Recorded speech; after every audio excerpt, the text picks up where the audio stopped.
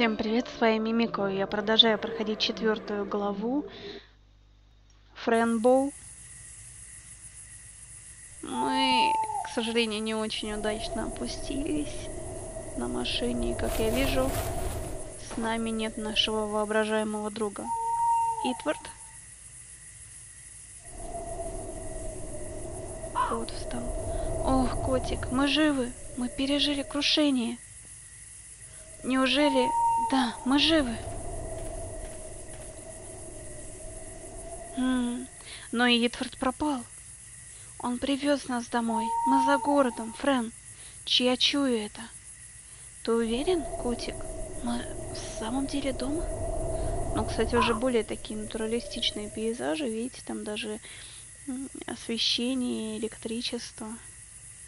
Я думал, ты будешь счастлива это услышать. В чем дело? Просто мне интересно, где Итвард. Я бы хотела с ним попрощаться. Может, ты примешь таблетки, чтобы увидеть его снова? Да, котик, но я уже приняла все таблетки. Видишь, банка пуста. Так или иначе, пойдем домой. Может, Итвард навестит меня когда-нибудь. Бедняжка. Блин, таблетки все вы выпили. Так, линия электропередач.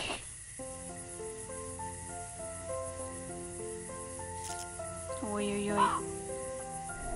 Боже мой, это наша улица, котик. Туманная улица. Да, верно. Так, что-нибудь я здесь могу тыкнуть, кликнуть? Куда-нибудь не хочу ничего пропустить. Хейз-стрит. Здесь написано «Туманная улица», тогда мой дом в той стороне. Ну, точно в той реальности. И вот мы здесь. Дом выглядит более серым, чем я его помню. Что ж, надеюсь, тетя Грейс будет рада меня видеть. Здесь только нас не поджидает здесь э, человек из психбольницы. Опа, растеница. Ой-ой, простите, маленькие насекомые, не убегайте. Ох.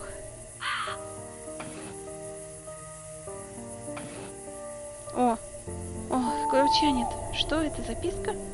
Тут сказано, я взяла ключ, подпись Френ. Френ? Это же я. Но я не брала ключ и не писала эту записку. Все так запутано. Что мне теперь делать? Кот к нам идет, нет? В окна? Внутри очень темно. Тетя Грейс? Ау. Может, ее нет дома, дорогая? У тебя есть ключ, чтобы войти? Нет, у меня его нет, котик. Но я знаю, что где-то здесь спрятан запасной. Нужно просто вспомнить, где. Хм, давай найдем его. Не, ну понятное дело, что вот тут мы находим записку, что мы не брали ключ. Ах, это окно в моей комнате. Иди сюда, котик, ты должен забраться и пролезть в окно. Я не смогла найти ключ. Похоже, я его уже забрала. Ты уже забрала ключ, но у тебя его нет? Звучит очень странно. Да, очень странно. Я нашла только записку, но я не помню, как, как я ее писала. Теперь, чтобы попасть внутрь, ты должен забраться и открыть мне дверь. Тфу, ну хорошо. Пожелай мне удачи. Ты сможешь, котик. Будь осторожен. Конечно, это же животное. Кошачье животное. Конечно, оно сможет. Мистер Полночь, ты меня слышишь? Котик, открой дверь. Ой-ой-ой. Френ? Не могу в это поверить. Ты жива? Где ты была? Доктор Дирн, я в порядке. Прошу, не отправляйте меня снова в клинику. Я уже давно тебя разыскиваю. Как ты сбежала? Я сбежала через желтую дверь, сэр. Почему ты не дома? У меня не было ключа, но мистер Полночь сейчас внутри. Он залез в окно на втором этаже, сэр. Мистер Полночь? Разве не так зовут твоего пропавшего кота? Да, но мы нашли друг друга. Сэр, Можно я могу я спросить, почему вы здесь? Я приехал встретиться с мисс Грейс. Мне нужно сказать ей кое-что важное. Кажется, ее нет дома, сэр. Что ж, возможно, так будет лучше. Тогда тебе придется поехать со мной. Нет, я не оставлю котика снова. Подождем, пока он не откроет дверь. Френ, я не верю, что твой кот внутри. Это невозможно.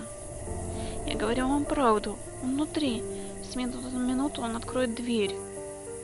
Фрэн, взгляни правде в глаза. Твой кот умер. Ты должна пойти со мной. Не надо меня волочь никуда. Котик.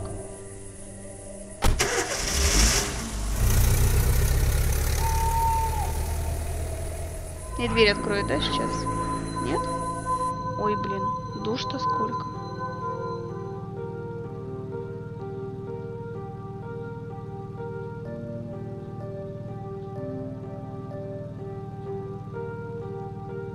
Прости меня, Френ. Я не хотел напугать или навредить тебе.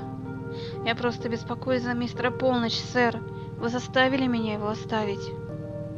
Он в самом деле жив? Конечно, жив, сэр.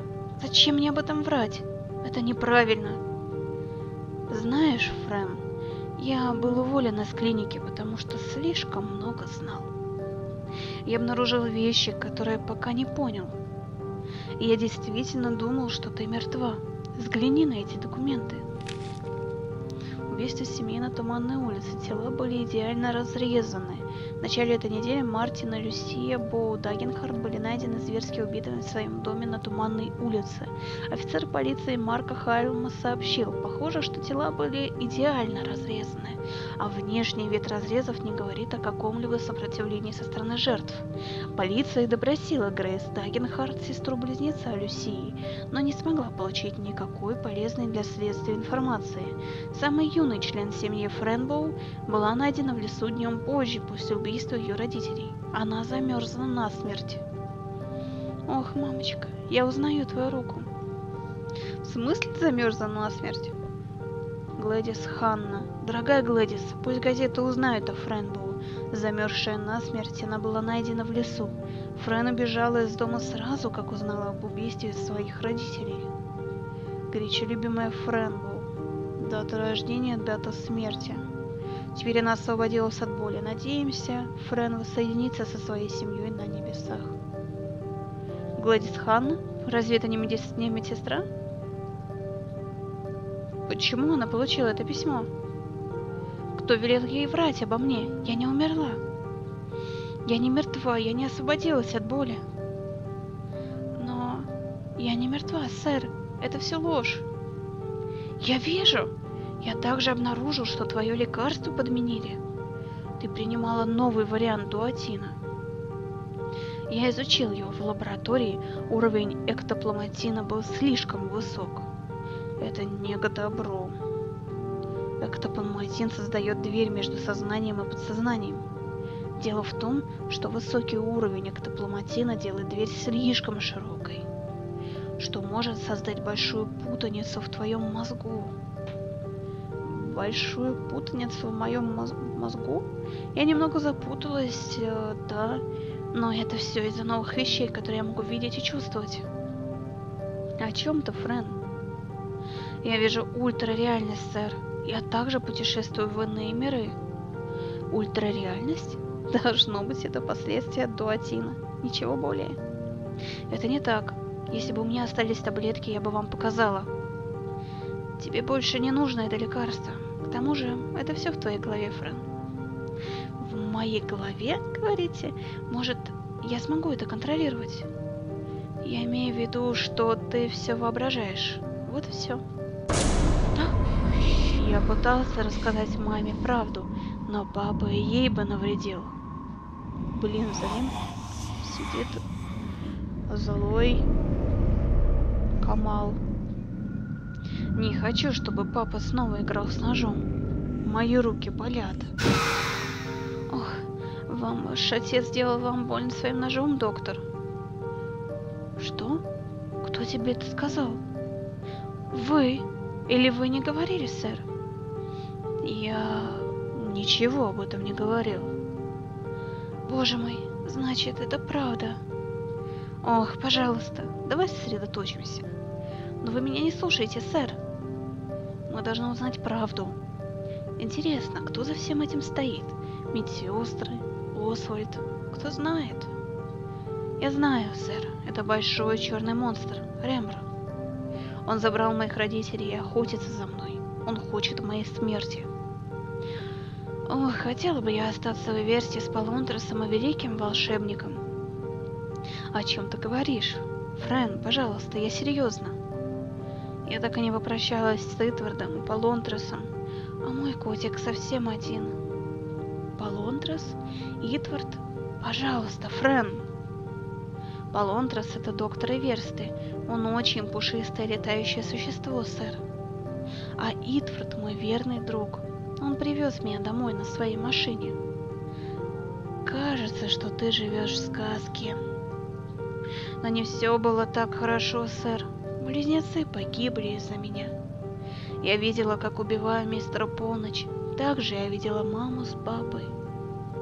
Близнецы? Какие близнецы? Девочки, которые были соединены вместе. Соединены, говоришь? Это напоминает мне о деле Карл, Клары и Мии. Две девочки в клинике клялись, что видели существо по имени Эдвард. Эдвард?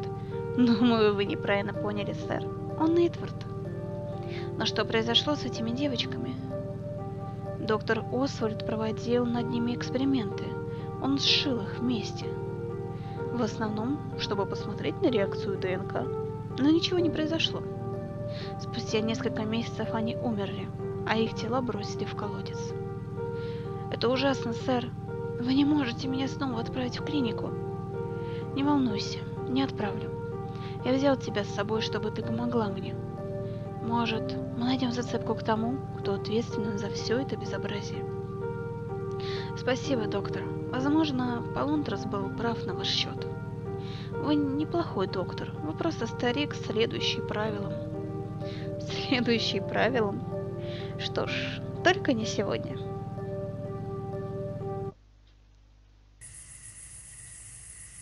Так. Это что, кладбище? Мы на месте. Но это кладбище, сэр. Что мы здесь делаем? Увидишь. Пойдем, следуй за мной.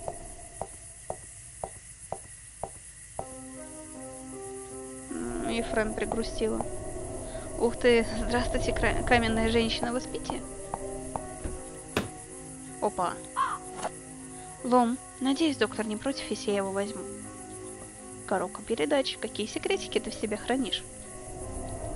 Я не прикасалась к кролю прежде. Папа мне этого не позволял. Так, ну это мы все уже видели, и это мы не можем взять.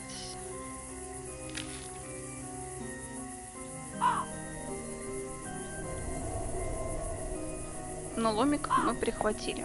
Окей.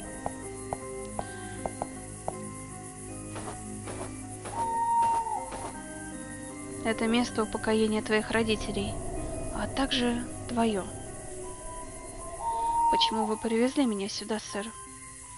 Прости меня, Френ, но такова правда. Твои родители были убиты. Зная, кто их убил, мы сможем делать все правильно. Что вы подразумеваете под правильно, сэр? Если мы найдем виновных, мы восстановим справедливость. Используем закон, чтобы наказать и предотвратить подобное поведение впредь. Я понимаю, сэр. И для чего вам нужна моя помощь? Чтобы найти улики и доказательства. Нам нужно открыть гробы. Хорошо, сэр. Я помогу. Может, смерти черви уже приходили. Кто? Хм. В любом случае, нужны, нужно найти лопаты, чтобы копать. Я пойду налево, а ты можешь пойти направо. Увидимся здесь через несколько минут, хорошо? Да, доктор Дерн. Скоро увидимся. Блин, Интересно, что люди прячут в ладонях? Насекомые? А лому мы можем это люди? Нет? Жаль. Кстати, а можем ли мы теоретически вспороть брюху этому коту? Нет, тоже нет, не можем. Э, Здравствуй, папа. Знаю, ты бы предпочтел не отставлять меня.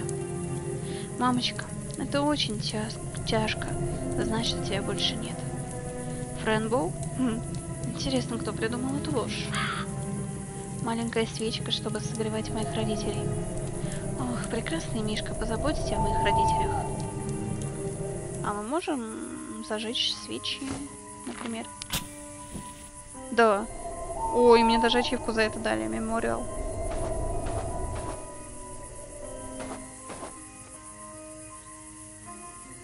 Ага. А, а куда он пошел? Налево. Ну ладно.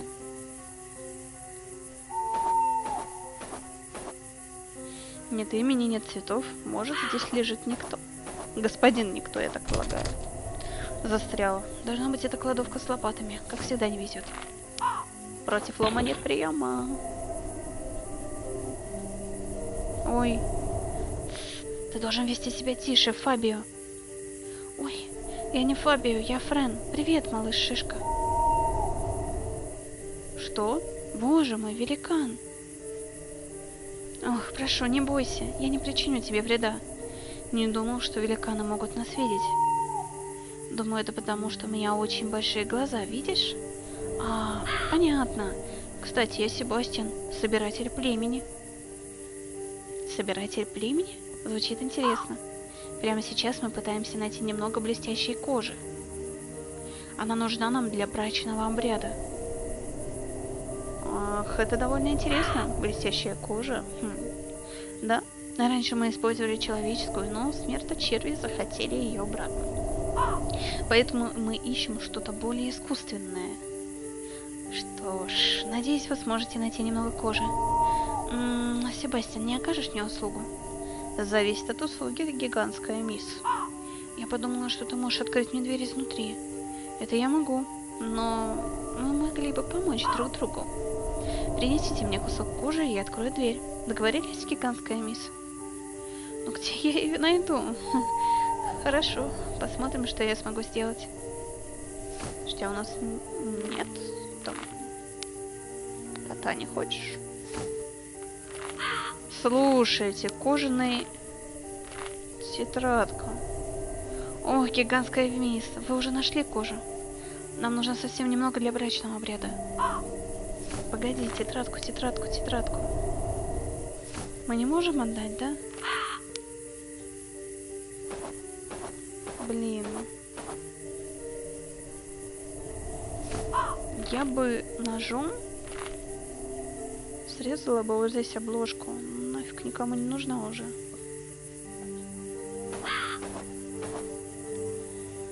Но придется машину, видимо, таранить. Кожаное кресло.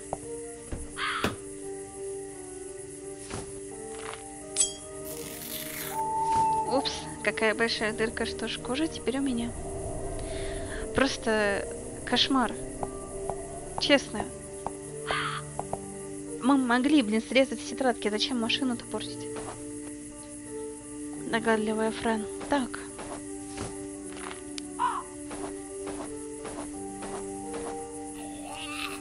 О, милота какая. Ух ты, спасибо, гигантская мисс. Наше племя Пенезилусов будет счастливо. А теперь я открою дверь. Секунду.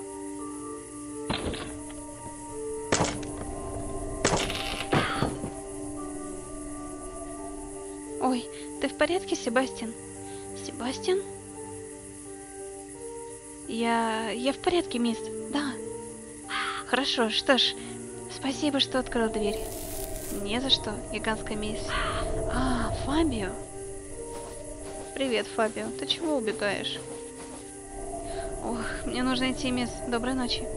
Эй, Фабио, подожди, у меня есть кожа. Ох уж эти брачные игры. М -м, здесь нет ничего полезного. Совсем не здорово. Мне нужно найти что-то, чем копать.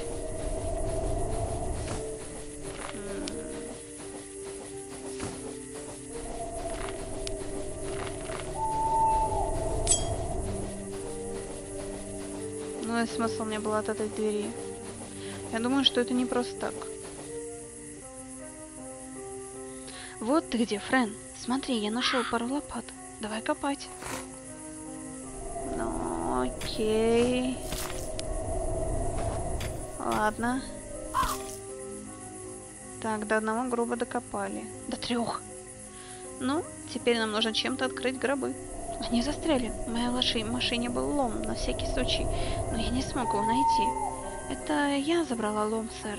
Мне нужно было открыть им дверь. Вам его вернуть? Нет нужды, Френ, но тебе будет оказана честь открыть гробы. Блин, ну ты же джентльмен. Доктор, мы вообще-то ребенок десятилетний. Хорошо, сэр, я открою их. И там лежат ее родители. И она, по идее. Какого черта? А, начнем слева. Боже мой, папа, смерточервь забрал твои глаза. Ах, мама, ты такая худая.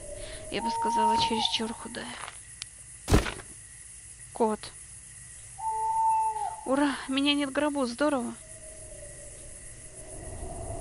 Но он не может быть моим котиком, мистер Полночь дома.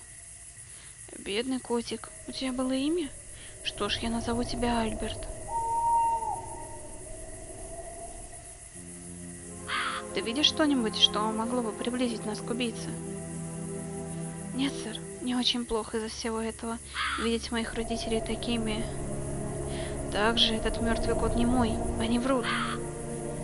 Фрэн, я говорил тебе, твой кот пропал, и, возможно, это действительно твой кот. Этого не может быть, сэр. Я нашла своего котика, поверьте мне. Отвезите меня домой, и я вам покажу. Пожалуйста. Хорошо, Фрэн. Я отвезу тебя обратно. Я позабочусь об этом позже. Нужно найти кое-какие улики. Спасибо, сэр. Пойдем.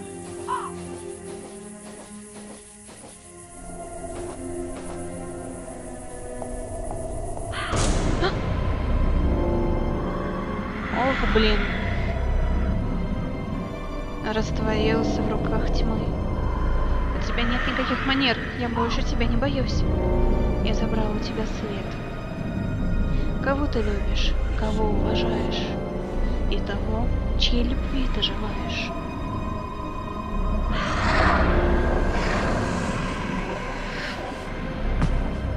Да ладно, он и нас?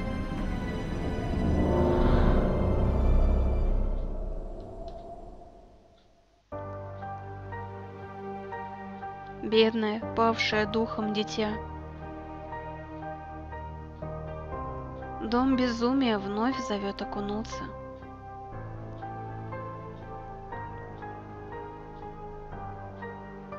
Если хочешь найти тех, кто любит тебя,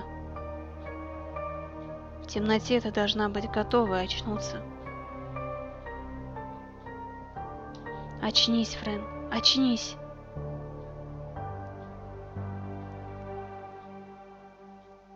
Тут начинается последняя заключительная глава Френбоу. Продолжу я ее в следующем выпуске. Да, этот выпуск получился короче, но есть определенная система в моих видео, так проще, удобнее ориентироваться и кому-то будет найти видео. Подписывайтесь, ставьте лайки. Всем пока-пока. До встречи.